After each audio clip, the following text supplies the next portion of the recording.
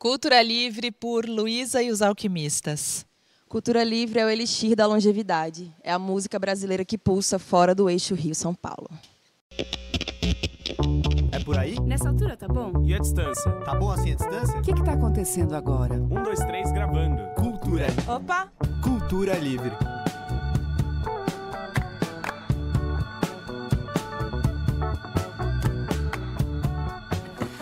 Oi, oi, eu sou a Roberta Martinelli, tá no ar o Cultura Livre. No programa de hoje, pode comemorar que a gente recebe aqui no estúdio uma banda que vai fazer muita magia.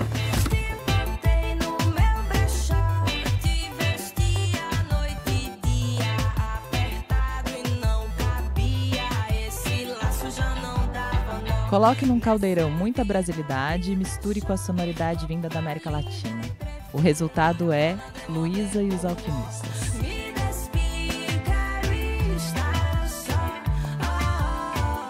A banda tem quatro discos e, como um camaleão, cada um tem uma cara diferente, mas sempre com uma sonoridade gostosa e impactante.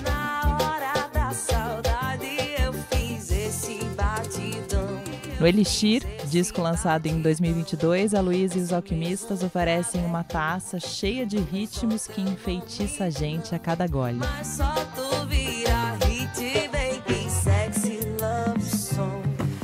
Atendendo a muitos pedidos, mas muitos pedidos mesmo. Finalmente chegou o dia, Luísa e os alquimistas estão aqui. Bem-vinda, Luísa. Muito obrigada, gente. Estamos muito felizes de estar aqui, realizando um sonho, né? Ocupando esse espaço. Não, a gente está muito feliz também. Eu tenho certeza absoluta que as pessoas que assistem o Cultura Livre estão muito felizes também. Bem-vinda. Maravilha, muito obrigada. Bom, queria, vamos começar falando como é que foi o encontro com os alquimistas. Olha, essa formação atual, ela vem de muitos encontros e desencontros, assim. A banda surgiu lá em 2015, né, para 2016. É, de lá para cá a formação mudou um pouquinho, mas essa formação atual ela é uma junção de uma formação que surgiu quando eu vim para São Paulo sozinha, em 2018 para 2019. Não consegui trazer o pessoal que fundou a banda junto comigo. Então, eu fiz, um, fiz uma nova crio de alquimistas aqui em São Paulo. E aí eu ficava, quando eu ia para o Nordeste, fazia o show com a galera que, que começou comigo lá. E quando eu vinha para o Sudeste, fazia com a galera aqui. Então, eu ficava alternando. E aí, na pandemia, a gente resolveu saí um pouco de São Paulo, estava bem difícil. E a gente se reuniu todo mundo em Natal e eu falei, não, agora a banda é essa galera toda aqui. Vou fazer esse processo seletivo e fazer, fazer um reality. E, mas foi, não, e aí não foi nada assim muito pensado assim, ah, eu quero você, quero você assim, né? Eu vim para São Paulo meio na doideira. É, conhecia o Pedro Regada, que é o sanfoneiro e, o, e que toca os sintetizadores. E aí ele me recebeu na casa dele, a gente dividiu o quarto. Aquela coisa, né? Sim. E, e, aí ele foi me apresentando, me apresentou o Tupi, me apresentou o Thales. E por que os alquimistas? Então, isso veio lá no comecinho mesmo do, do projeto, com o Zé Caxangá, que é um dos fundadores da banda, que não está mais no, no projeto com a gente, mas é um grande amigo. E ele muito fã de Jorge Ben e tudo mais. A gente ficou naquelas, qual que vai ser o nome da banda e tal. E foi ele que batizou mesmo Luiz dos Alquimistas e foi fazendo cada vez mais sentido, né? No começo foi um nome, porque a gente precisava de um nome, assim, a gente não tinha. E aí depois foi fazendo muito sentido, assim, muito legal essa história. Você falou ali no começo da definição do que é cultura livre, né? E falou um pouco de sair do eixo Rio-São Paulo. É, por que você veio para São Paulo? Eu acho, eu estava é. até falando isso com o Catatal, cidadão instigado, uhum. que veio para cá há muito tempo, foi para Fortaleza e ele quando voltou para Fortaleza, mesmo já tendo uma carreira estabelecida, ele achou que os trabalhos foram sumindo para ele. É, é, é, difícil, né? A gente não, é, é como se fosse uma obrigação fazer esse processo de êxodo, né? E não é só trabalhando na música. Eu vejo que, enfim, São Paulo foi feita por, por pessoas do Nordeste, né? Então é, é um, um, caminho, um processo que a gente vem repetindo, né? Ancestrais fizeram e a gente segue fazendo porque ainda assim é necessário mesmo, assim. Sim. Não gostaria de sair de perto da praia nem nada disso, né? Mas está muito legal também. São Paulo, São Paulo nos acolhe muito bem. É, tem facilitado muitas coisas para a gente nesse lance de trabalho. Eu sou uma pessoa muito cigana, muito viajeira. Então, também a cidade pequena, por mais que seja uma capital, Natal é uma cidade pequena, que chega uma hora que realmente não tem mais para onde expandir, né? E por mais que a gente, enfim, viaje muito fazendo shows, os contratantes reclamam um pouco da distância. Então, hoje em dia, boa parte da banda está aqui em São Paulo e só um integrante, que é o Gabriel, que a gente fica trazendo, que já facilita. Conforme a banda foi crescendo também, as pessoas também, os contratantes para os shows e tal, também começaram a melhorar um pouco esse lance da logística e tal, né? Diferente daquele começo, que eu tive que fazer esse lance de ficar com a formação em São Paulo e em Natal para conseguir viabilizar mesmo o corre. Né? Sim. Bom, hora de começar a magia por aqui, musicalmente falando. Agora tem Boto para Torar.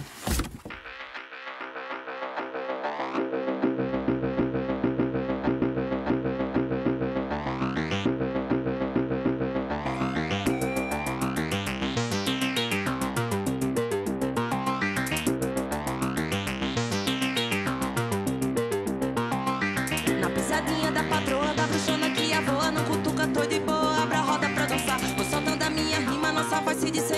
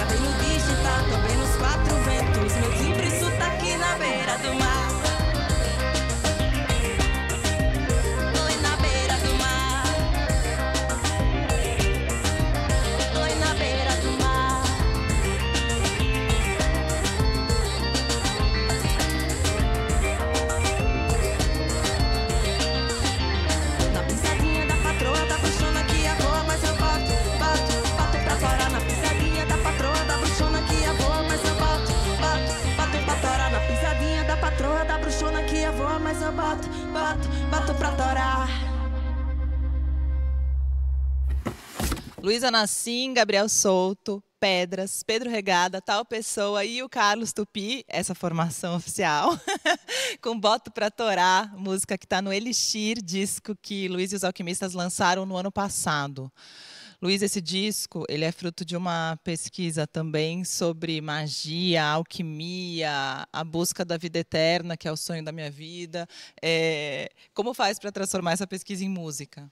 É, a gente já traz esse nome muito forte, né? E, a, e, eu sentia que a gente ainda não tinha realmente se aprofundado um pouco mais nessa pesquisa da alquimia e da magia, principalmente para esse universo estético, assim. E, mas também, a princípio, era, era uma coisa mais estética, mas conforme a gente foi compondo o disco, é, eu senti a necessidade de fazer um álbum que realmente fosse um, um elixir, um acalanto, uma, uma, sabe essa coisa da música, da arte que cura mesmo, assim, tendo essa consciência mesmo dessa responsa de fazer música, esse comprometimento também com o nosso público, de trazer algo que, que além de ser dançante ou sei lá o que, também trouxesse uma mensagem de de prosperidade, de amor, de tudo isso, assim, né? Então, foi, foi por aí, assim, esse processo. Sim, e numa fase que a arte estava sendo muito colocada num lugar por muitas pessoas Exatamente. de de coisas, sei lá, no lugar errado. É, foi... E a arte realmente é muito importante, né? Ela é, ela é fundamental para um país, para um,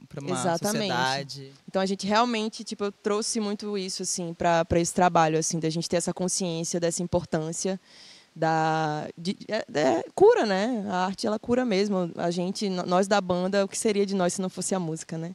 E eu sinto que o nosso público também tem essa mesma percepção. A galera ouve nosso som em momentos muito especiais, né? Então a gente queria realmente fazer músicas para seguir nesse nesse caminho, assim. Como a arte essa relação com o nosso sua público. vida? Como a arte chegou na minha vida. Minha mãe é artista plástica. É, meu pai era musicista, ele já faleceu. Meu padrasto também é músico, artista plástico. Minha avó, minha avó é artesã. Então, eu realmente nasci, cresci num berço de artistas, assim, de pessoas que, que valorizam isso, assim. Então, eu tive essa sorte de, de, desde pequena estar tá envolvida com isso. Então, eu não venho, não faço só música, né? Venho, venho do circo. É, antes disso, gostava também de desenhar, de pintar. É, hoje em dia também tenho me aventurado também no audiovisual, dirigindo alguns videoclipes que a gente mesmo faz. E na maquiagem, e na estética, e na direção artística. A gente está vendo. É. Virginiana, aquela que faz tudo. Eu sou bem multi mesmo, bem múltipla, assim. Demais. Agora o Cultura Livre vai para 2019 com hit de Luísa e os Alquimistas.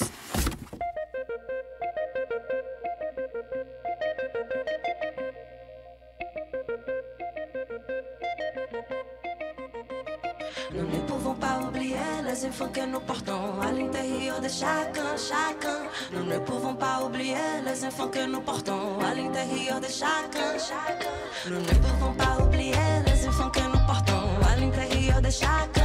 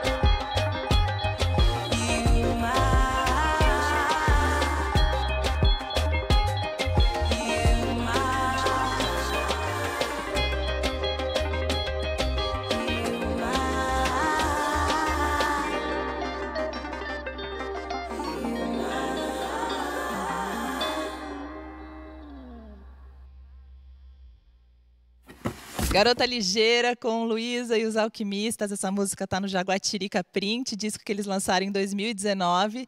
E eu devia ter chamado eles naquela época porque ia ser mais fácil imitar aquela capa do que a capa do Elixir, mas isso é um problema meu, não é de vocês. Agora a gente faz uma parada e volta logo mais com mais Luiz e os Alquimistas aqui no Cultura Livre. Até já.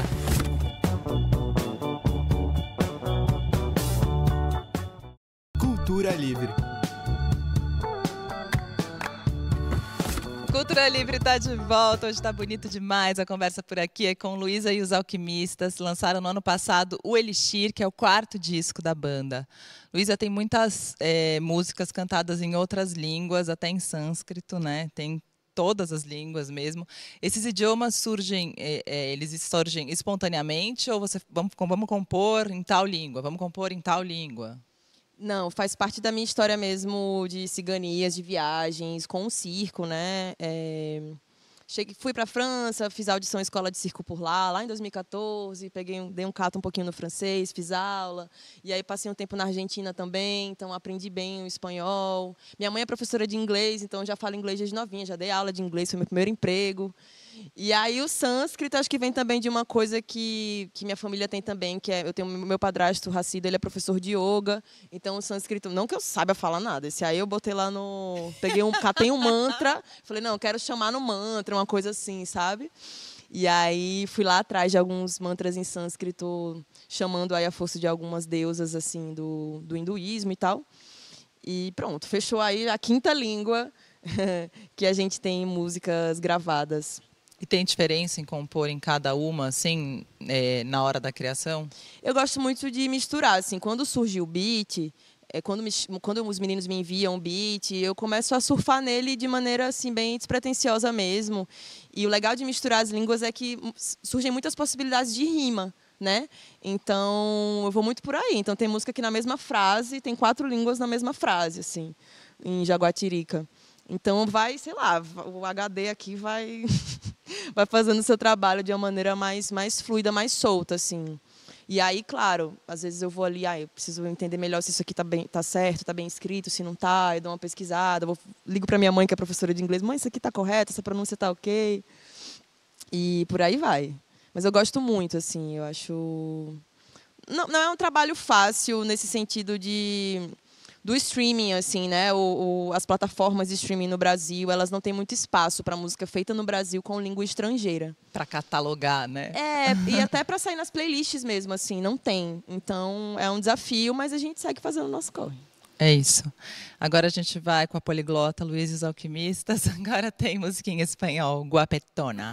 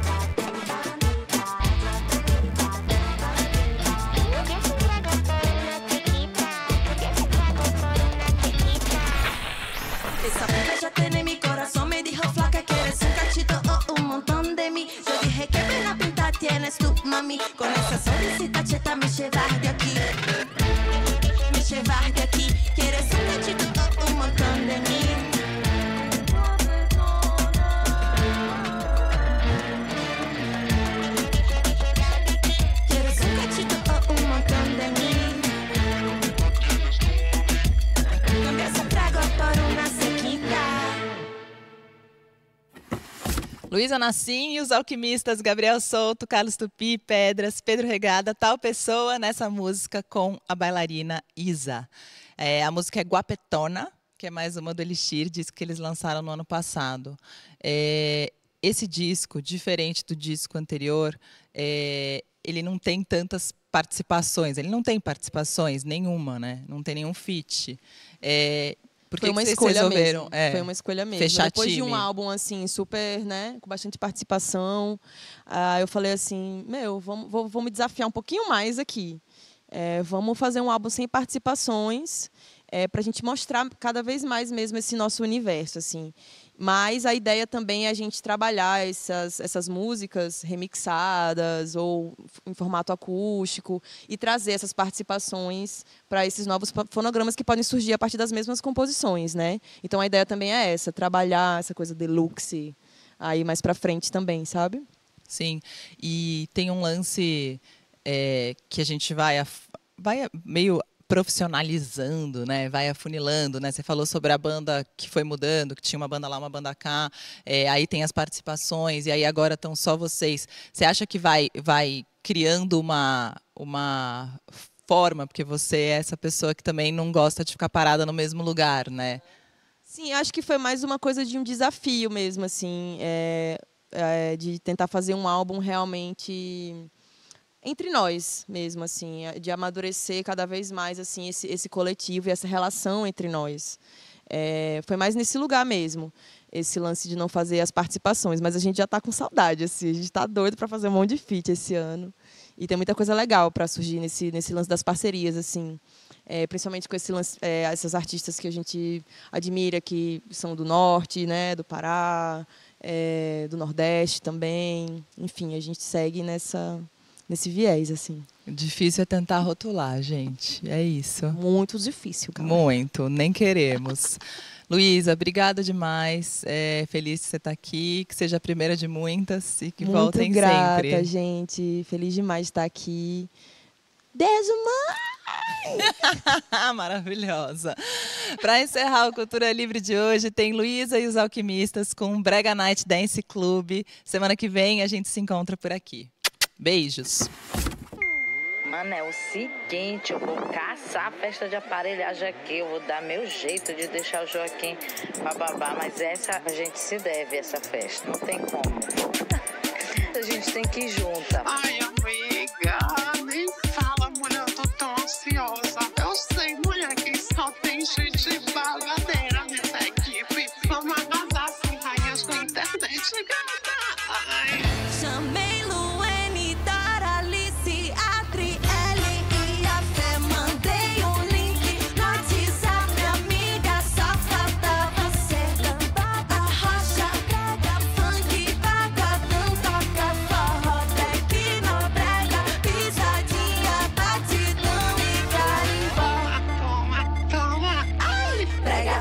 night, dance, clube.